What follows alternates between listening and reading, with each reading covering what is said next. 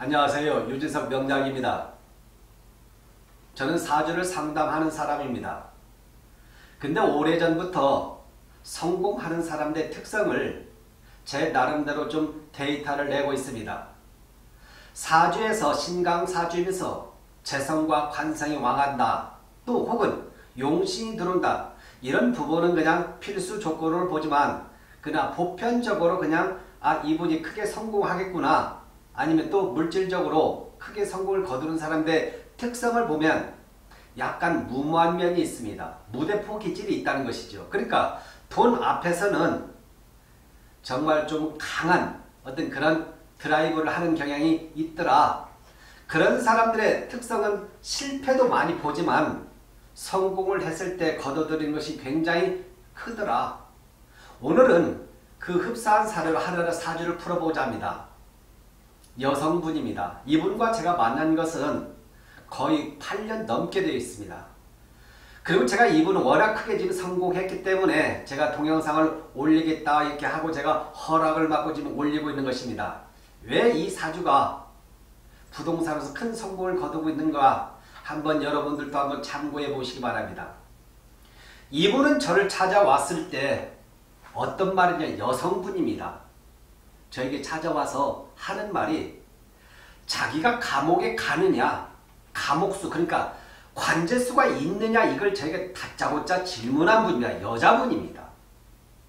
근데 그런 경우 가끔 있습니다.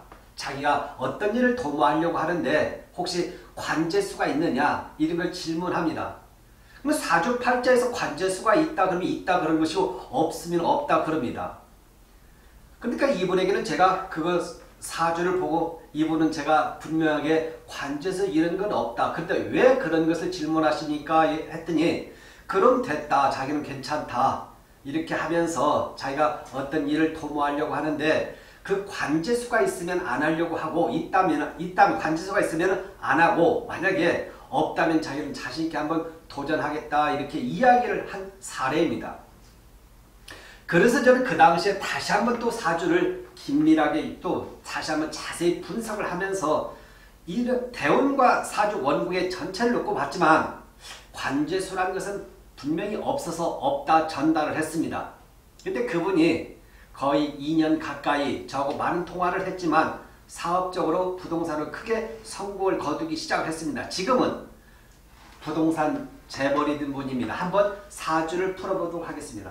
여성분입니다. 1963년생입니다. 그러니까 지금 59세입니다.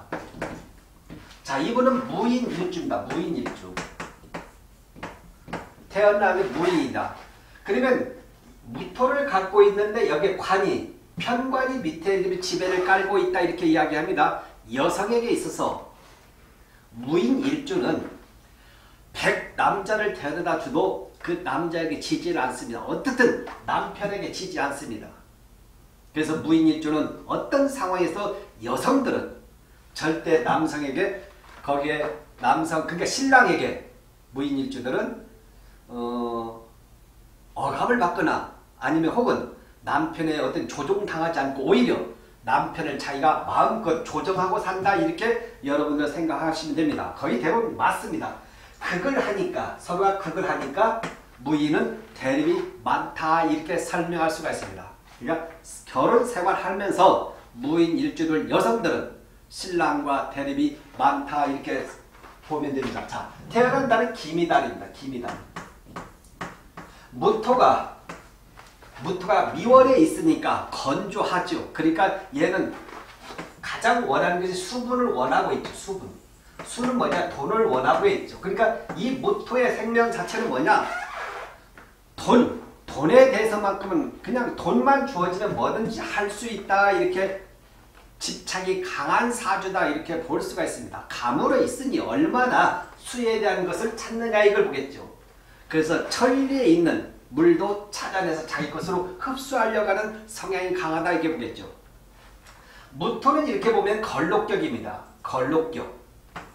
자, 걸록격은 뭐냐? 장력겠죠. 아니면 만면을이겠죠. 그리고 걸록은 자기 스스로 성공하라. 자기 스스로 자립하라 이렇게 보겠죠. 그러면 이런 사주에서는 부모에 대한 글자가 약하다 이렇게 보겠죠. 결국은 뭐냐? 맨 땅에 헤딩해서라도 스스로 성공하라 이런 걸 이야기해 줍니다. 자, 이 얘는 무토는 감으로 있으니까 태어난 연이든 아니면 태어난 씨에서 수분을 당연히 원하죠. 물 공급을 원하기겠죠. 물이 있기를 원하는 것이 물이 없으면 감으로 있으니 매일 돈, 매. 그러니까 태어나서 죽을 때까지 돈을 쫓아다니는 것이요. 만약에 물이 있다면 그것을 내가 취하니 이 무토는 그런 면에서는 굉장히 격이 괜찮다 이렇게 보겠죠. 자, 태어난 연도는 1963년생이니까 이 개묘생입니다. 개묘생. 자, 개묘 여기는 물의 수분 공급이 있습니다. 근데 이런 때는 뭐냐? 얘는 이미 날라갔다. 힘이 하나도 없다. 얘 빨려가지고 전혀 힘이 없다 이렇게 볼 수 있습니다. 그러니까 여기서 보면 얘는 부친에 해당이 되겠죠. 부친. 아버지는 날랐지만 이 사주는 전혀 영향이 없다 이렇게 보겠죠. 결국은 뭐냐? 낳기만 했지 아버지의 힘 자체는 없다 이걸 얘기해 주겠죠. 자 태어난 씨는 여기는 자신이다. 자신. 자신데 보니까 자에 해당이 되는데 무토니까 임자에 해당이 되죠. 그러니까 거대한 물의 기운 자체가 있다 이 말이에요. 엄청난 물 공급을 받고 있다. 무토가 한 여름철에 감월에 있는데 시간은 바, 자시니까 한밤중이죠. 선호를 해줬죠. 그러니까 여기서 얘가 약간 균형과 조를 이루어주고 있으니까 이 사주는 이 앞부분은 약하지만 뒤에서 봤을 때는 보통 사주가 아니다. 이렇게 설명할 수 있는 사주입니다. 그러니까 이 사주를 보니까 여러, 부, 여러 부분에서 사주에서 보니까 아 일단 이 무토가 재물을 취할 수 있는 기운 자체는 굉장히 수분 공급을 취할 수 있는 것은 괜찮다. 이게 바로 무엇을 상징하냐? 돈을 상징해 준다는 것이 돈. 자 그러면 이분이 제게 물어봤죠. 관제수가 있느냐? 그러니까 뭐냐 교도소를 가느냐 물어보는 것이죠.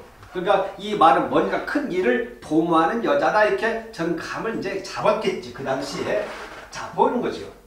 자 여기서 이제 기토니까 그러니까 무기 경신에 해당이 됩니다. 경신 대우는 경신 신유 임술 개해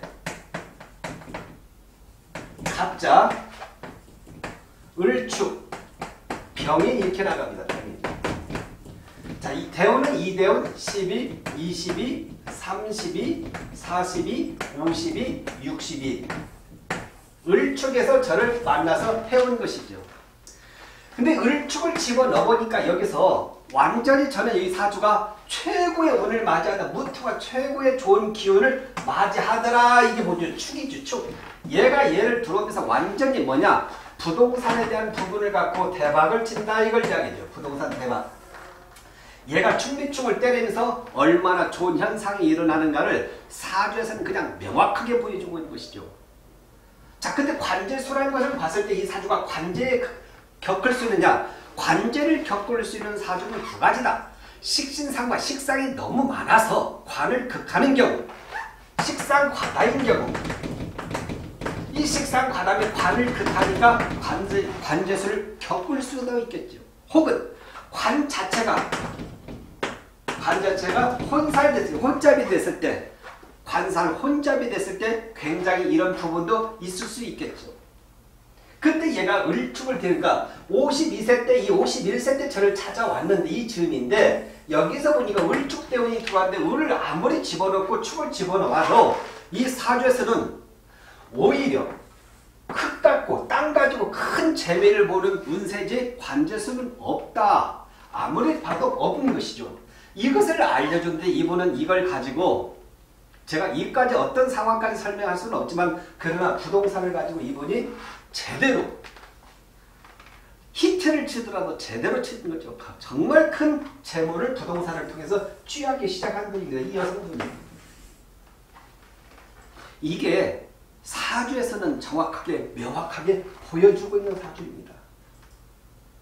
그러니까 이분은 뭐냐 중년에 중년에 성공을 하는데 큰 성공을 거둔 분인데 제가 이야기하고 있는 것은 저한테 찾아왔을 때 감옥 가냐 안 가냐 이것만 저에게 질문 들어온 분이죠.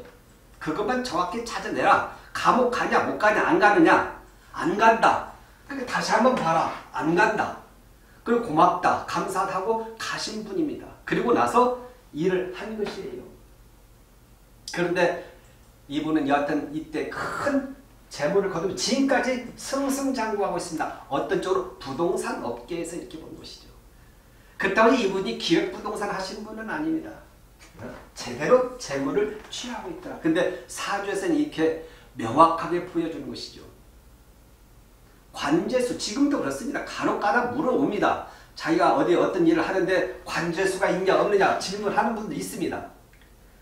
근데 이런 분은 성공을 거두는 조건을 많이 갖추고 있어요. 근본적으로 돈을 재물을 취할 수 있는 힘 자체가 강한 분이고 얘가 들으면서 자축합을 하면서 엄청난 기운 자체가 강하게 형성이 됐죠. 이것은 미미하지만 그렇다는 그러나 얘가 왜 재물의 큰 부동산의 재물을 관여하고 있는가는 사주에서 이 축속에서 거기에 해답이 있다는 것이죠.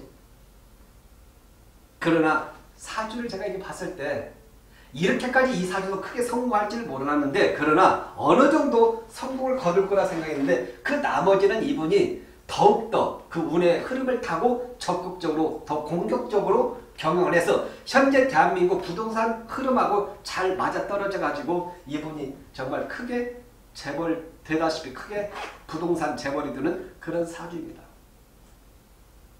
제가 이야기하는 것은 이렇습니다. 정말 성공하는 사람들은 무대포 기지들이 있더라. 저희가 이분은 딱 질문한 것은 그거였습니다.